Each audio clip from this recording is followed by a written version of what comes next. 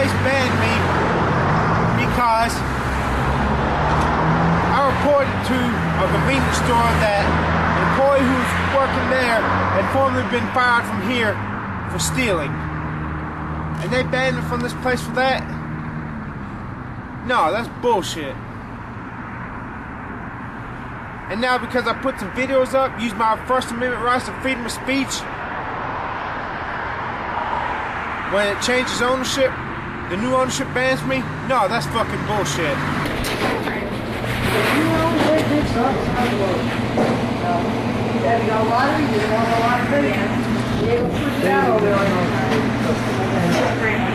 like that. They can't have that. One thousand dollars every mile. Hey, How much is the sweet tea?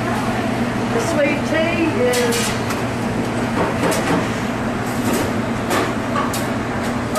Uh, I'll just give you one, how about Thank you, thank you. Wow. Fuck. Listen up, you goddamn motherfucker. You see this shit? You see this shit? You see this shit? I'm 23 years old as of last month. Here today, tonight, and that ain't the goddamn thing you can do about this motherfucker. You see this fucking shit? Look, real close to this motherfucking shit. It's a free fucking drink. Try to stop me, bitch. You can't do shit, you goddamn motherfucker. So suck a dick or just fucking quit. You goddamn son of a goddamn bitch. I'm too old for you to stop me, motherfucker. You goddamn son of a bitch. So fuck off, cunt.